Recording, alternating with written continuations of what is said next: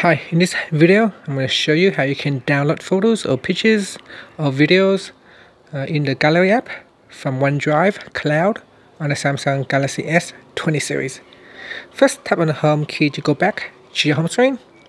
Then swipe up to go into the app screen. Next, tap on the Gallery app.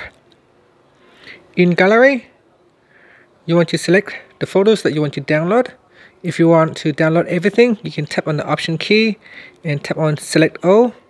And it will allow you to download all the photos available on your OneDrive cloud. Now you can tell the photo is from OneDrive cloud uh, but when I tap and hold onto the photo and once you're in edit mode you can see there is a cloud icon. That's to indicate the, the file is not local. So let's say I just going to download one of this photo and I tap on download so it says downloading image.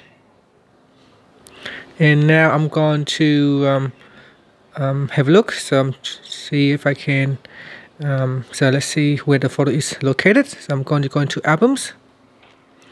And probably try to download in one of the folder. So I'll go back to pictures. So I'll just try it again. So here you can see uh, it shows available on the cloud as well as available on the device. The icon is really small. I actually didn't see it, but here it is.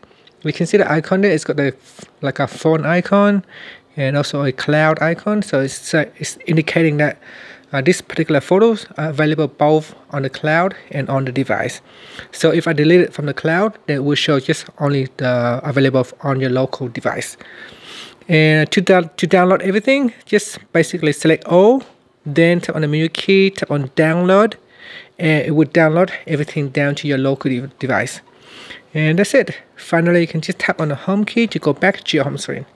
Thank you for watching this video. Please subscribe to my channel for more videos.